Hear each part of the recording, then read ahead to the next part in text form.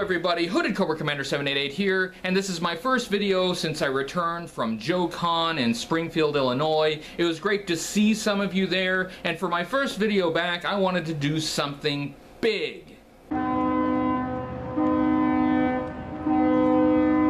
Not that big, but still big. We're going to look at the 1984 G.I. Joe hovercraft, the Killer Whale, and its driver, Cutter. Check out that monster. Is that big enough for you? This is the killer whale, sometimes just called the whale. It is a hovercraft, and the word whale is an acronym that stands for Warrior Hovering Assault Launching Envoy, which makes no sense, but they just had to throw some random words together to make an acronym that spelled whale. Heaven forbid we have a vehicle name that isn't an acronym. We can't have that. The killer whale was introduced in 1984, which is surprisingly early in the 80s G.I. Joe run for such a large vehicle.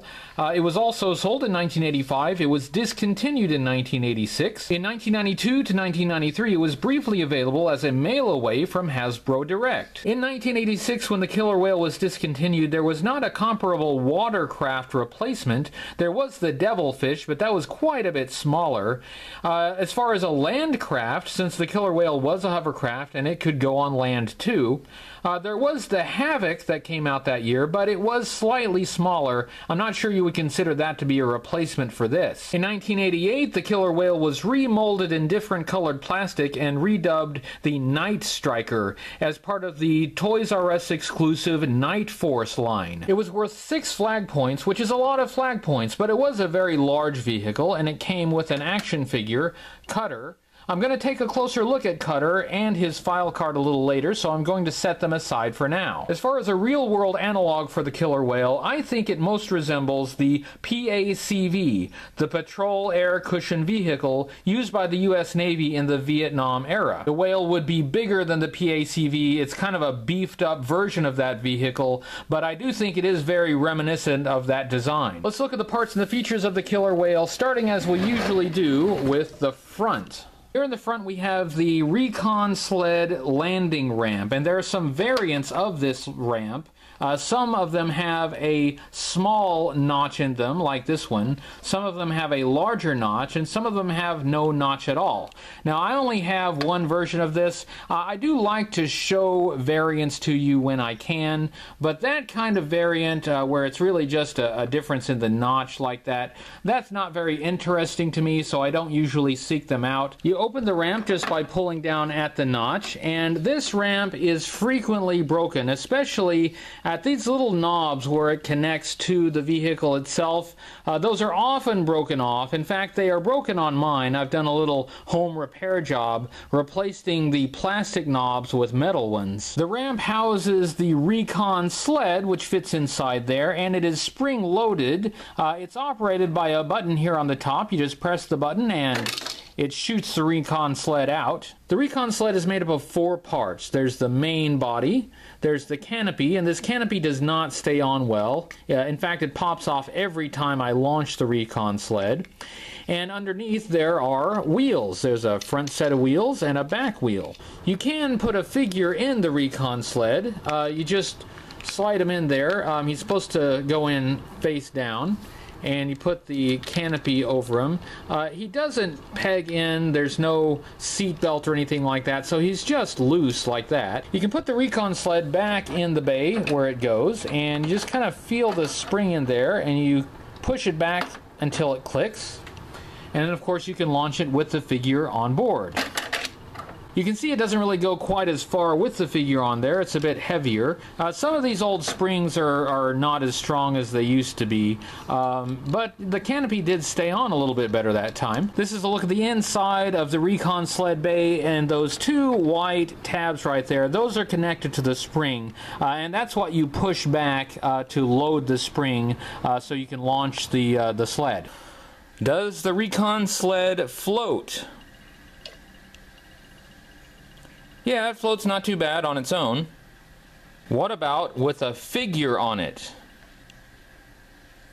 Yeah, actually it still floats fairly well. The next part is this loading ramp, which you just flip forward, and this is two parts. There's the outer part that's kind of part of the hull, and this inner ramp part here, and those are separate, and they can come loose. This can come off.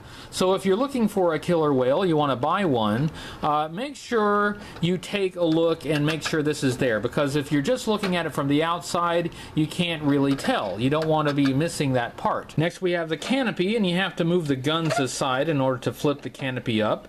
Uh, and this canopy has a clear plastic piece here that works like a windshield. Uh, and that is another frequently missing part. It took me a while to get that part so I could complete this whale. So watch out for that as well. Uh, you'll see a lot of them with that missing, but there is supposed to be something there. That's not just a, an open window. With the ramp down and the canopy up, we can take a closer look at the troop carrying compartment, which looks really nice. It's very roomy, lots of space in there. Uh, there's some nice details sculpted in all around. That looks really good. And we have some foot pegs, and it looks like this is intended to accommodate four figures uh, with one foot peg uh, per foot, so it, it's for both feet of the figure. Usually, if you have foot pegs, it's just one foot peg for each figure, but it looks like they wanted to give you a way to uh, secure the figure in uh, a little bit better in this. It's nice that they put foot pegs in there. You can stand the figure up, and blowtorch is in here kind of demonstrating how you can do that.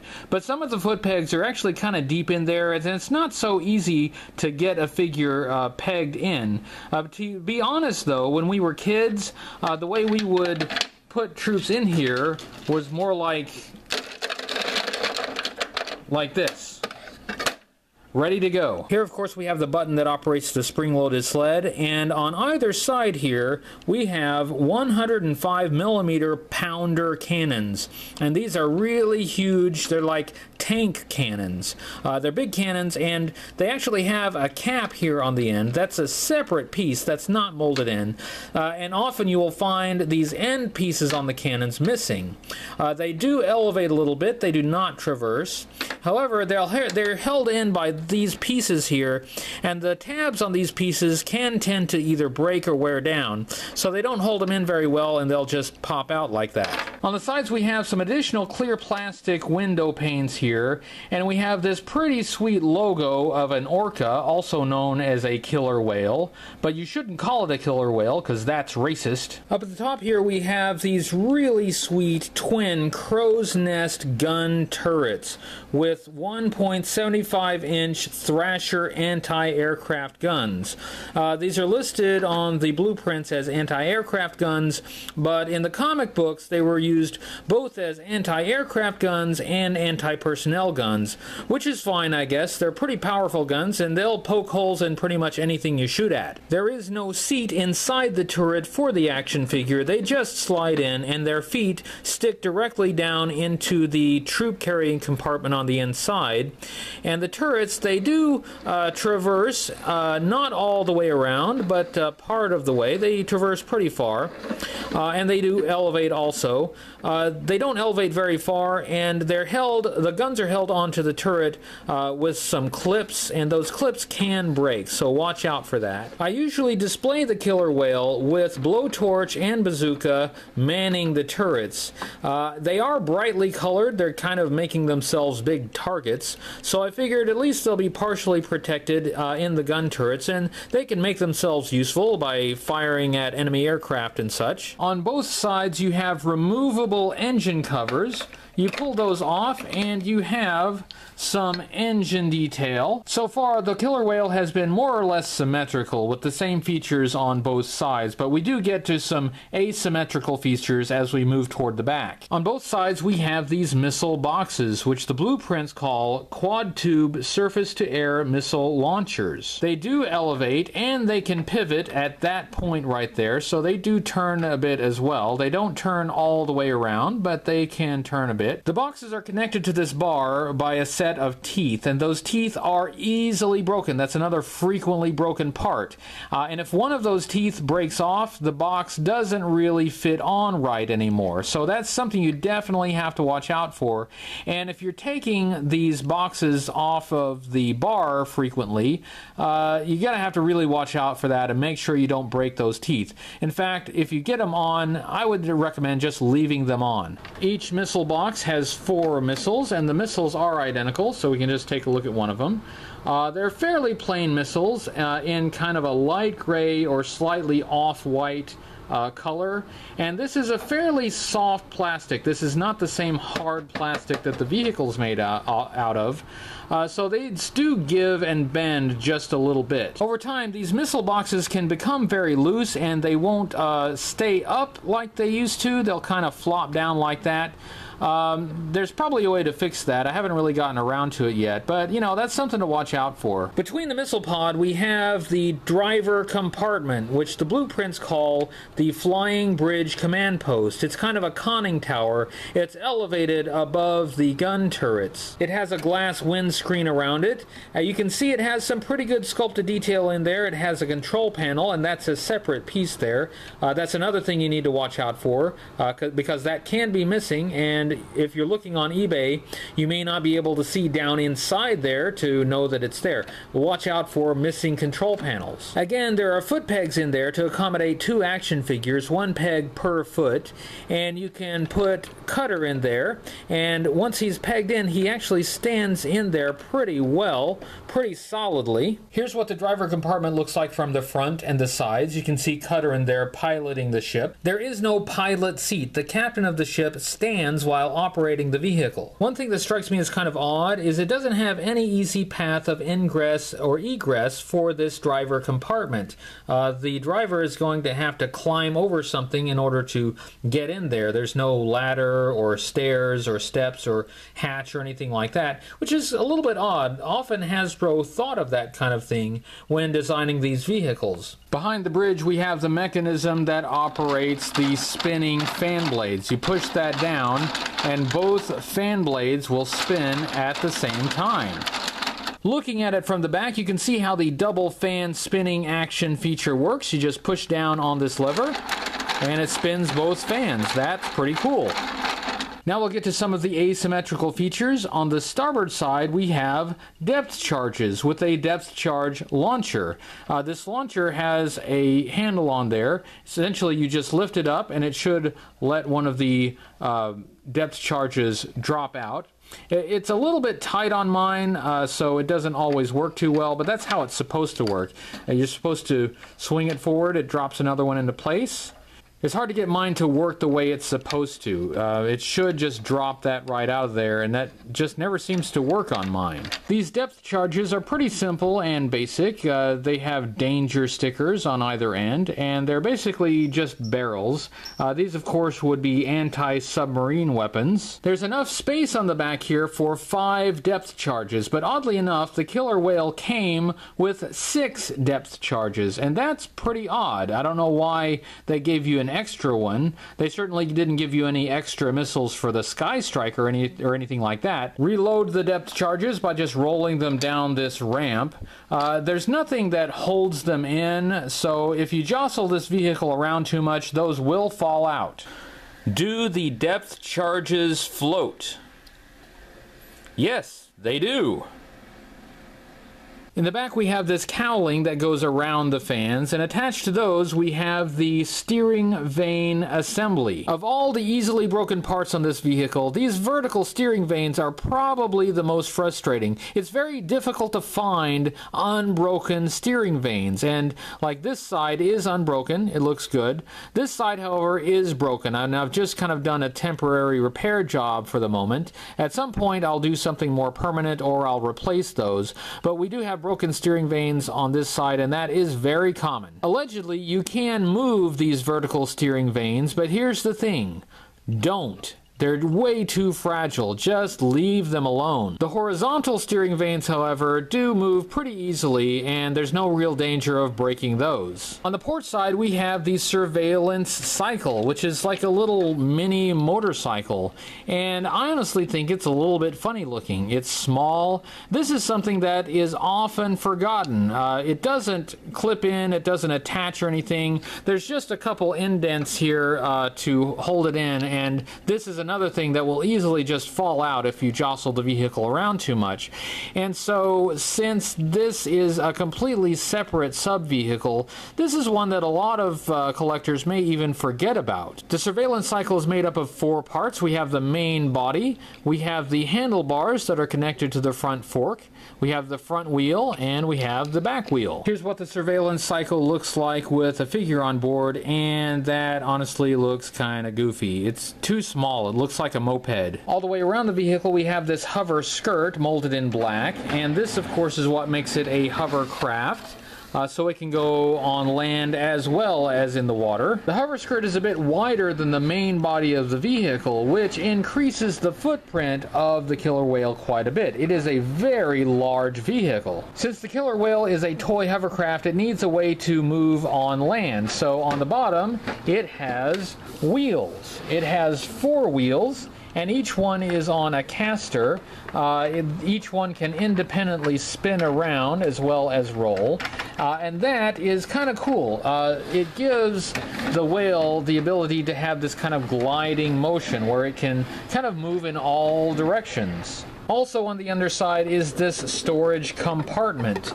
Uh, this lid comes off and you can store things in there.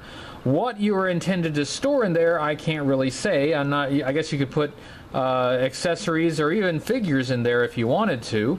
Now these parts, the storage compartment cover uh, and the wheels are on the underside of the vehicle so you might not be looking for those uh, when you're thinking of buying a killer whale. So just uh, uh, make sure that you check the underside and see that these all of these are there. It's not such a big deal if it's missing the compartment cover, but if it's missing one of the wheels, it's not going to roll properly.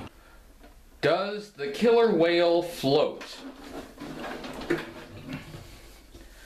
Yes, it floats very, very well. It floats well despite the fact that the recon sled uh, compartment is pretty open and would let water in there, but that doesn't seem to uh, really uh, do anything to the floating ability at all. It uh, floats extremely well. Now let's look at Cutter, the action figure that came with the killer whale, and Cutter is appropriately named after a type of ship uh, a cutter is a small ship, usually a single masted ship, that is designed for speed, and that in no way describes the boat that he actually drives. Cutter did not come with any accessories, so let's go ahead and look at his articulation. Cutter had the typical articulation for 1984 G.I. Joe action figures. That means he could turn his head from left to right like that. Uh, he could move his arm up at the shoulder about so far, and he could swivel it all the way around. He had a hinge at the elbow so he could move at the elbow about 90 degrees. He had a swivel at the bicep so he could swivel his arm all the way around.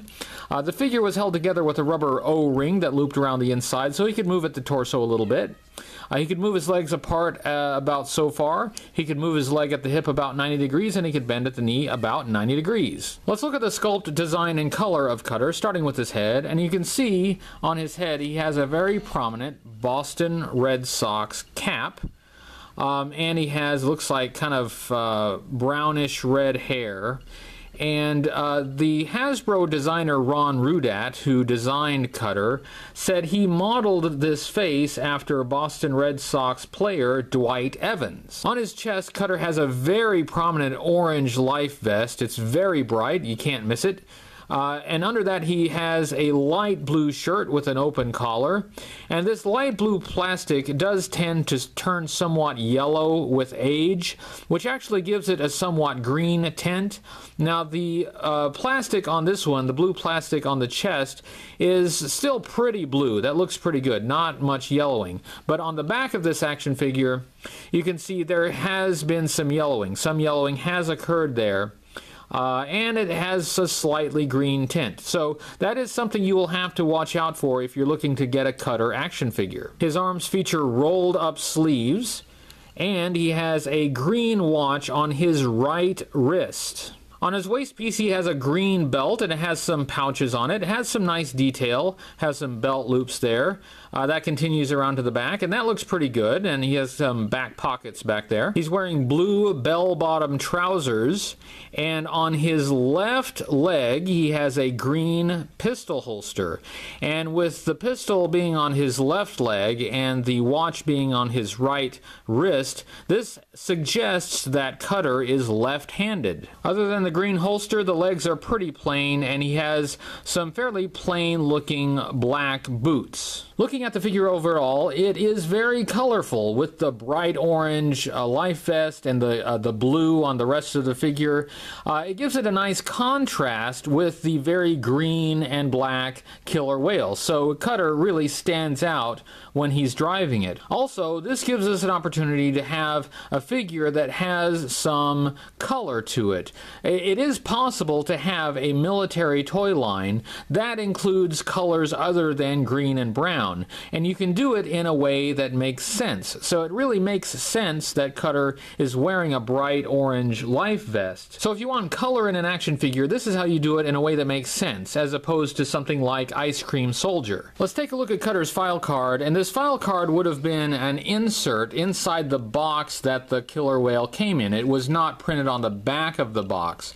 Uh, it was an insert like this, and as you can see, it was just a card. Uh, you could cut this out, but this one, of course, is uncut Uh, it's still blank on the other side, nothing on the other side. It has his faction as G.I. Joe, and it has a nice portrait of Cutter here. It says he's the hovercraft pilot. His code name is Cutter. His file name is Skip A. Stone. That is terrible. Um, Larry Hama, the writer of the G.I. Joe comic book, uh, was writing these file cards at the time, and sometimes he would put uh, kind of a joke name in, and this has to be one of the worst. Skip A. Stone, uh, that's a real groaner. The only one that might be worse is maybe Albert Pine. His primary military specialty is hovercraft captain, and it's not referring to captain as his rank, uh, that is his position as the commander of the ship.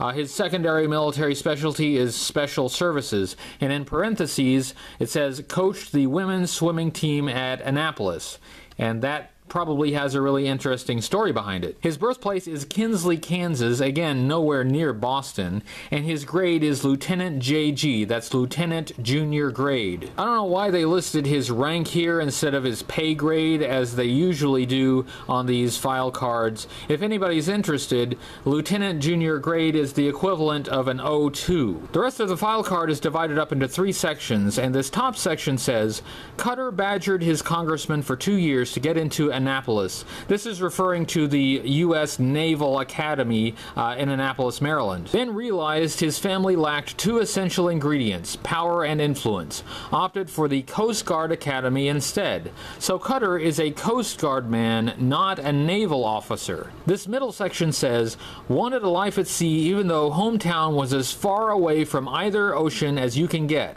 exactly 1,561 miles from San Francisco and New York City. His iron will and contrary nature, laced with a truly bizarre sense of humor, might explain why. This bottom section says, Found out the Joe team didn't have any Coast Guardsmen, raised such a stink that the Coast Guard top brass had to pull every string necessary to fix it. It also gave the brass a way to get Cutter out of their hair. This file card depicts a person who is very determined, tenacious, and maybe even stubborn, and I kind of admire that. Cutter is somebody who simply will not take no for an answer. Taking a look at the killer whale overall, one thing that impresses me is the green color, which is not an obvious choice for a watercraft like this. It suggests that it's intended to operate on the land just as often as it operates in the water, and that that means it fits perfectly well with your other G.I. Joe land vehicles, and that I think is really impressive. This thing is not going to just run alongside the Devilfish, but this thing will roll alongside the Mobat tank and the Mauler and the Awe Striker. In a previous video, I already compared the killer whale to the Cobra watercraft that also came out in 1984, the Cobra Water Moccasin, and how this was not really a fair fight. However, in 1985, we got the Cobra Moray hydrofoil. And this thing is much bigger than the Cobra water moccasin and much more of a match for the killer whale. Even though the Cobra Moray is still slightly smaller than the killer whale, it has a lot more armament than the Cobra water moccasin. It has a ton of guns and missiles, and it has something that the killer whale and the Cobra water moccasin lack, and that is speed. Take a look at the killer whale from the front and imagine how terrifying it would be to have this thing coming directly at you with all its guns blazing. It has a lot of firepower facing forward. However, take a look at the killer whale from the back. None of its armaments traverse to face aft. The killer whale would be vulnerable to attack from behind, so the best Cobra vehicle to go up against it would be one that is fast and maneuverable, like the Cobra Moray. It's hard not to love this vehicle. There's nothing subtle about the killer whale. It is huge. It impresses for size, if for nothing else. And of course, it's loaded with play features. It's got lots of guns, lots of things that move around. It's got a troop carrying compartment, missiles. It's just loaded. The playability of this thing is just so great that you can still do a lot with it, even with a lot of the little bits missing. I know when we played with this as kids, we still had it on pretty much every mission even when there were no missiles left and no depth charges left, there's still a lot that you can do with it. I seem to remember we played it a little bit fast and loose with the hovering ability when we were kids, and at some point it may have been given the ability to fly and may have been used to fight Cobra rattlers and helicopters in the air. That may not have been technically possible according to science, but we were nine years old. I love everything about this vehicle, and when I say love, I really mean love. In fact, there's something that I've been wanting to do, and I hate to put you on the spot like this killer whale uh, on camera, but I just have to know. Will you